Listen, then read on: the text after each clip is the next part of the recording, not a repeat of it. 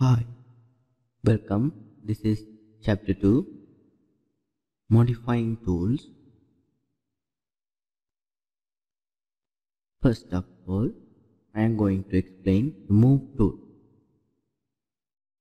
Move tool is help us to move a object from one point to another point, which is customized by us. First, click on that Move tool, then select the objects and right click or enter. Then click the snap point. Now I am going to snap, uh, pick a snap point at the corner. So click on at here, then move it by distance. If you want to give the distance as 25, you can type 25 this automatically move from here to here 25 distance. It's a move tool. So another example click on move select the object and enter pick a point and hit this is the move tool. Next one rotate. Rotate means if you want to rotate an object you can use this rotate command or tool. Click on rotate button or rot- rotate icon, then select the object, then enter. The ro- rotate we have to show the specific base, base point. So I am picking the center. Then I am going to enter manually. So if you want to give the 45, likewise you can enter the 45 degree angle.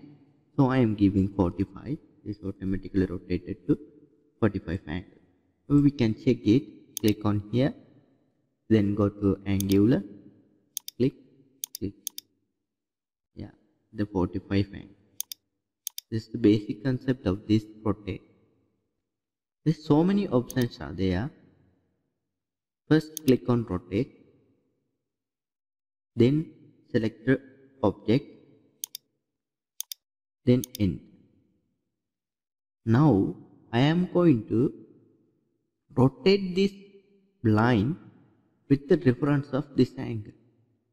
Here already I gave this angle as 45 but now I want to rotate this line without entering the value which is this reference as this line.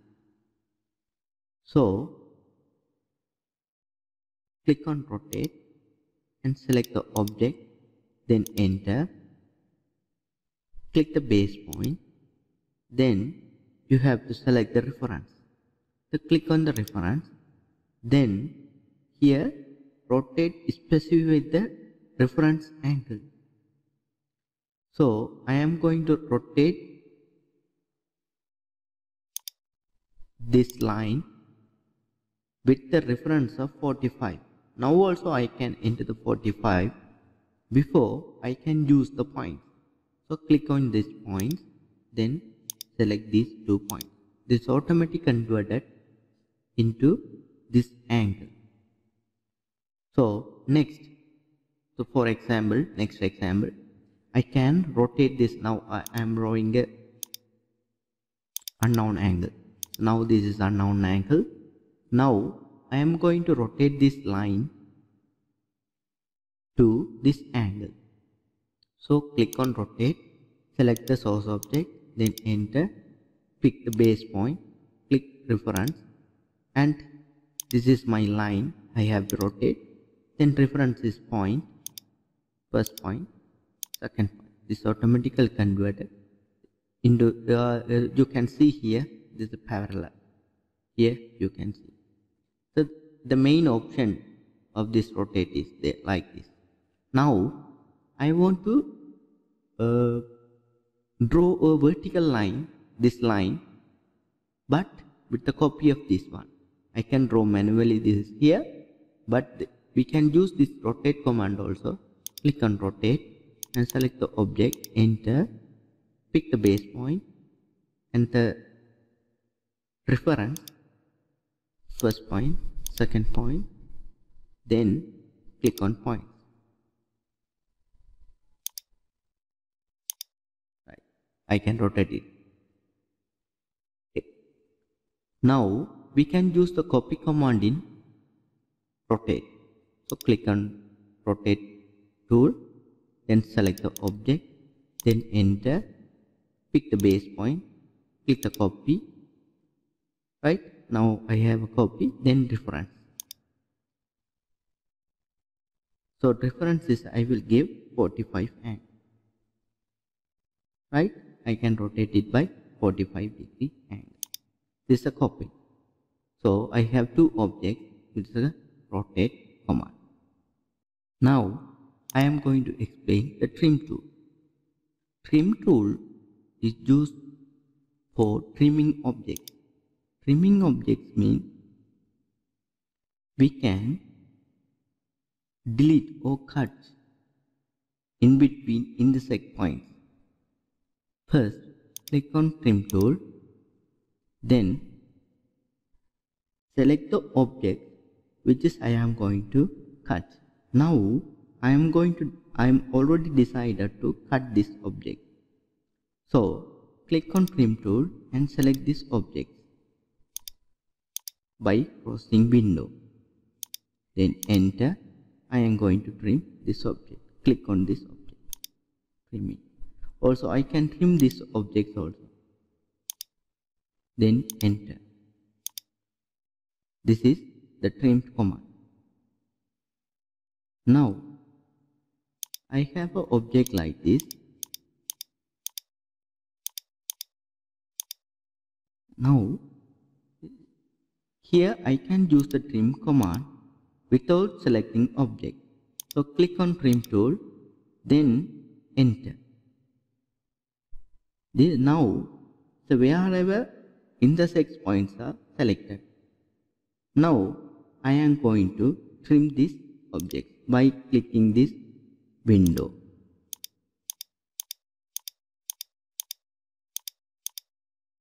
and enter or escape. This is the trim command. Now I am going to extend. Now first way is easy. I'm selecting this and picking the grid point and dragging and drop. This is the extending method. Or else you can use this object to extend it to here. Click on extend tool, then select the object, enter, select the source object. This automatically extended. Another way, click on extend button, then enter. Wherever needed, we can extend. The easy way. We can extend by this. The extend command. Now, erase command we can use the delete key also and also you can use the erase command. Now here a single line is here. I am going to delete by clicking this and press deleting key. Or else you can use the erase button and click the object then enter. You can use this both ways. Next command copy. Copy command means I can copy this object or duplicate this objects. It means I can make one or more copies. Click on this copy command, then the select objects, then enter. Pick a snap point, then you can place wherever you need. You can use the group of objects enter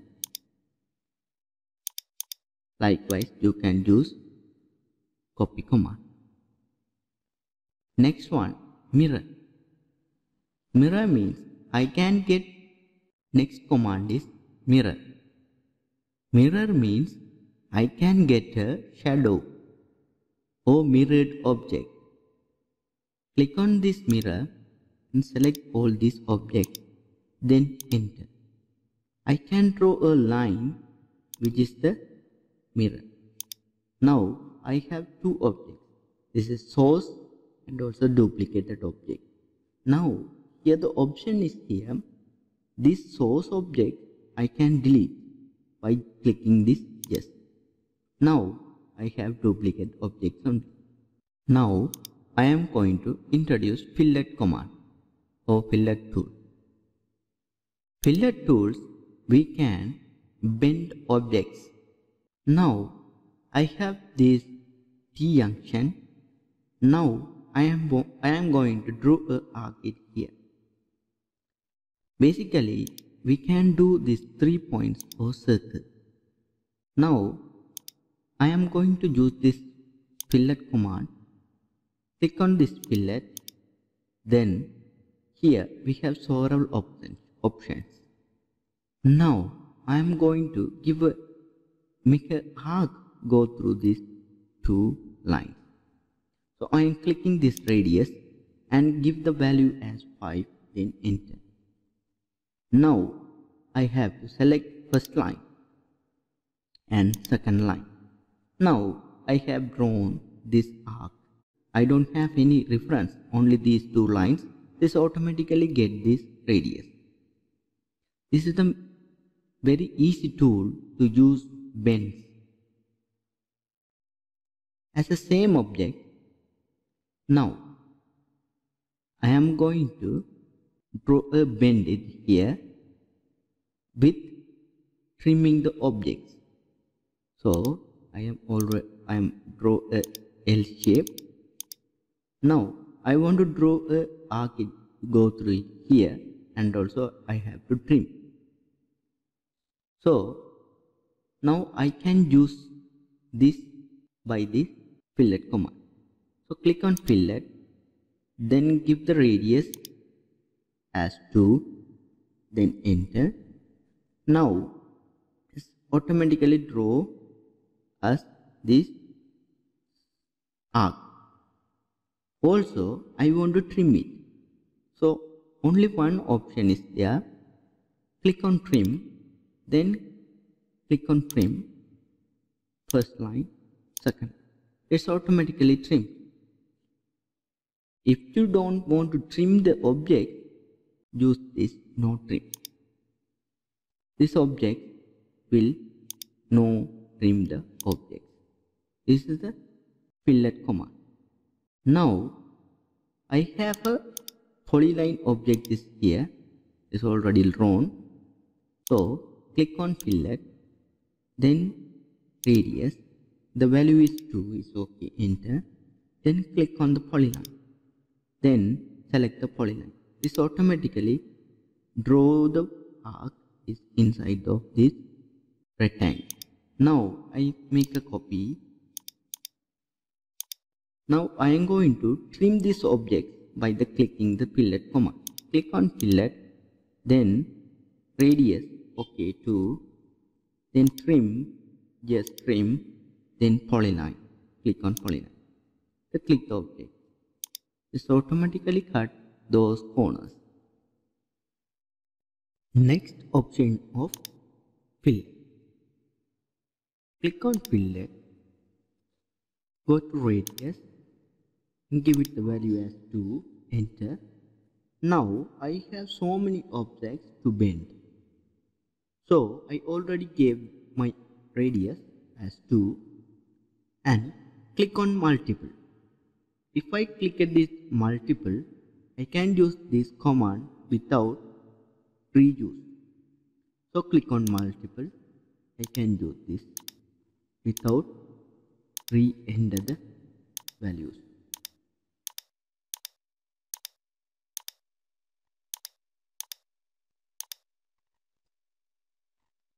Next command is chamfer. Chamfer means we can taper the angles the chamfer. So click on chamfer. Here so many options are there. First polyline. Before we had seen the polyline option with this the fillet command. Likewise is no indifference the same. And also trim also same object as same option and also multiple multiple also same same as the fillet command. Here the new commands are distance angle and method. This method referencing this distance and angle. So we don't see this method. I am going to explain the distance and angle. Here i am going to taper a corner by clicking or picking to distance now i have a, like this object uh, 10 by here 10 and also vertical 10 now I have a corner like this. Now I am going to tapering this by the distance first distance 5 and second distance 5 here distance is measuring from here from the end point to this side. So always measuring the distance. So now I am going to make a distance by entering values. The click on chamfer and click on distance. Now I want to pick a value without entering value I am clicking this point and get this mid midpoint. And enter. This the distance value. So clicking this first point and second point. This automatically tapered this corner. Here I can click on this linear then take a point click on point and this here the 10 distance this is my 10 distance but taper and taper distance is 5 which is go through this distance so always this chamfer taking the distance from this corner. Next option in chamfer. Click on chamfer then click on distance. Now I am going to give two different distance. First distance is 5 and enter. Second distance is 7 enter now this is my first line and here the second line now I can confirm it by clicking the line here here the 5 distance and from this point to here 7 distance which is already I gave first distance is 5 and second distance is 7. Next option in shape Click on chamfer. Go to angle. Here, chamfer length on first line. Same for line in first line. Here, I have to give the length as 5, then enter. The angle from first line. From first line angle, this angle so I can give here the 30 then enter first line second line I can confirm it draw a line first line second line it's a 30 degree and also from here to here the distance is 5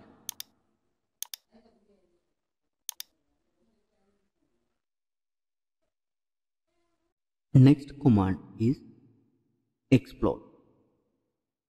Click on this explode button.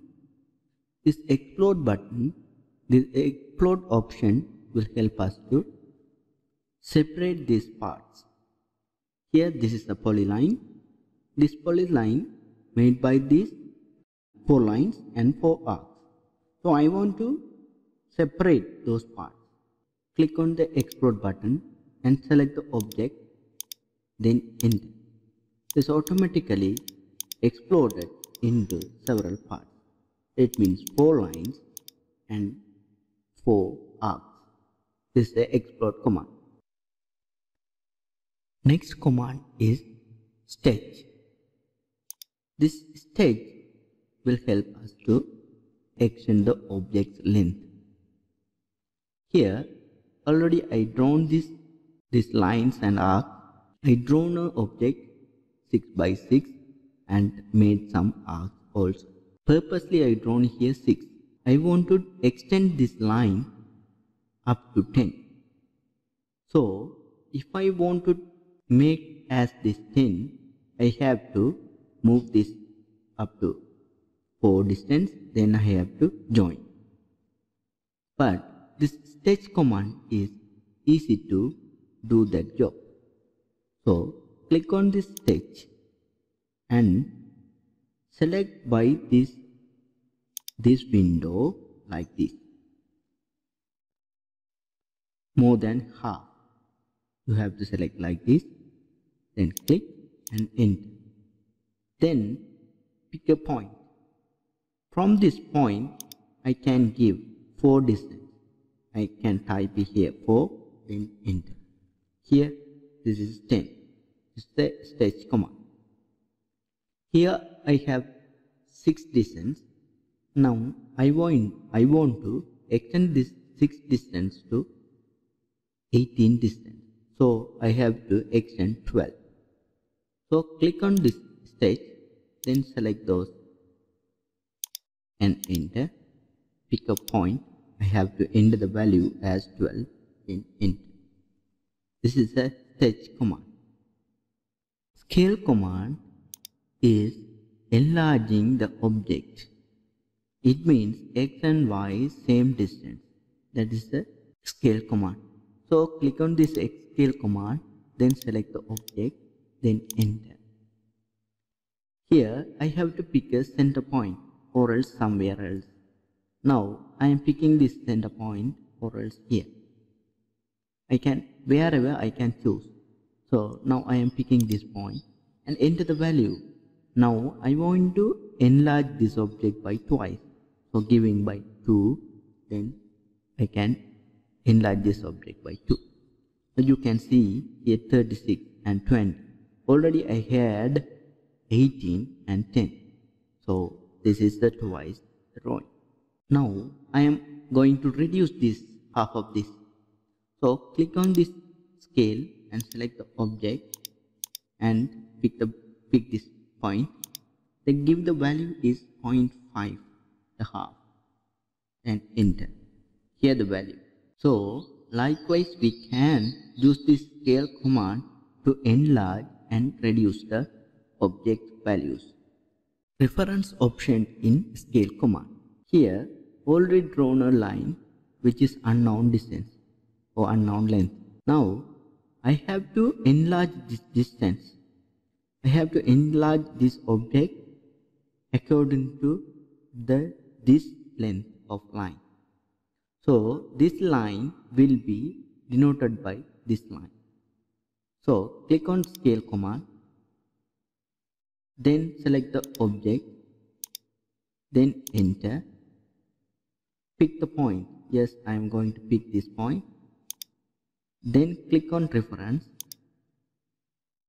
Reference length means pick these two points. Now I have to extend this object. So I don't know the value of this length. So I can select or peak points. So click on points, first point and second point. Here 47.55. I can check it also. Click on first point, second point. 47.5. So I, I enlarge this object from this reference line. Next command array. Here array in array three options are there. This one is called as rectangular array. Rectangular array will be placing columns and rows. So click on rectangular array and select the object then enter. Here we have columns and rows. Here columns 4, 1, 2, 3, 4. 4 columns and rows 3. We can adjust by typing here or else you can tracking here. Or tracking here. You can do both ways. So now I am going to here, give here columns as 10 enter and row as 5 enter. This is my rectangular array then enter. Here I have I have made an array. Now I am going to edit this array. So click on this array. Then you have the array palette. I am going to edit source. So I don't know where this is the source object. So clicking on edit source and select the array. Then click ok. Here this is my source object. Now I am going to edit this source object. Now I am going to click here at a vertex and click this vertex and I am going to do like this object. Then escape. This is my source object. And click in edit array and save change. If you don't want to change this object you can discard. Now I am going to save this change you can see here. You can edit any object source object converted from the source object. I am going to replace the object. Click on this line, array and click on replace item. Select the replacement object. Yes this object I have to replace. So click and enter. So select the array item to replace. So I am going to click the array here this is also I want to replace. Click this also I want to replace. This also. Likewise I can replace according to my wish. Here this object but still it will keep in array.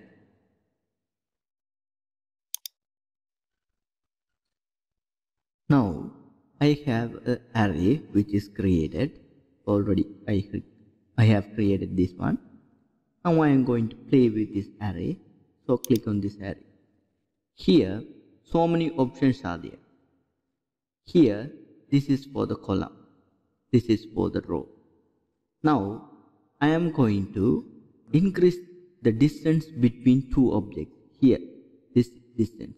Here already give uh, already here 56 this value. I am going to enter the value as 100 enter here the 100 means from this object to this object 100 distance here I am going to enter the value as 75 then enter here the row distance 75 and between distance here the column between distance is 100 so total distance is 900 now I am I can uh, edit this value also. So now I am going to here enter the value as 1000 this automatically get this value as 11 111.11 likewise I can edit this rows also. Here I am going to give a rounded value as 100 then enter. Here total value is 900 also this between line this between rows 75 distance. Now I am going to give 100 distance. Here 100 enter this is my object 100 distance. 1 2 3 4 5 so here 5 columns 100 distance. I want to I want to go to this total value as 500 or 600 I will get into the 6 600 let's automatically get this value as 150 likewise you can edit those values according to your purpose. In array next command is path array. So click on path array. Here this is my path and this is my source object. Now I am going to place this object into this path. So select this object then enter select the path. Here this is already placed. Right now here this is aligned. Here we have aligned item op option. So click here. Here the option is the aligned items to path. No, this is this path is not aligned by this uh, source object. Now I am going to align array items.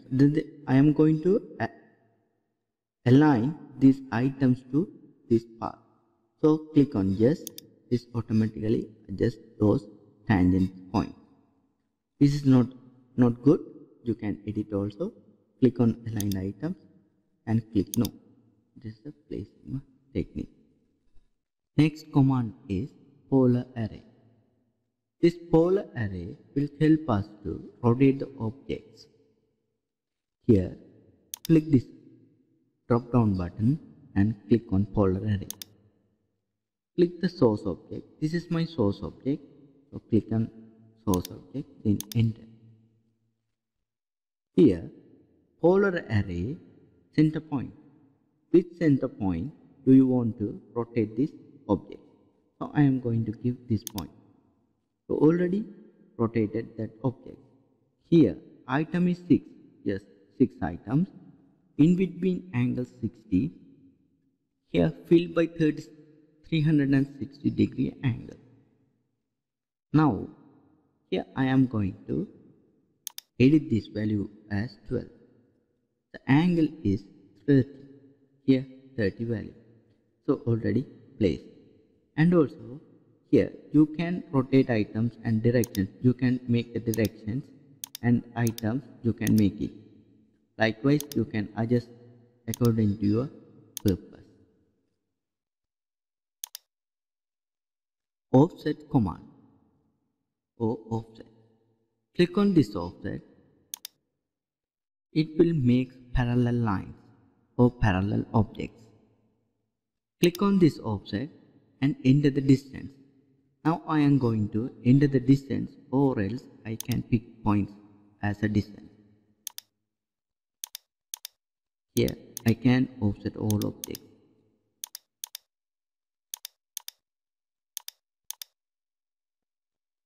So offset most of the powerful tool to make parallel objects. Please subscribe my channel and get new updates of AutoCAD tutorials.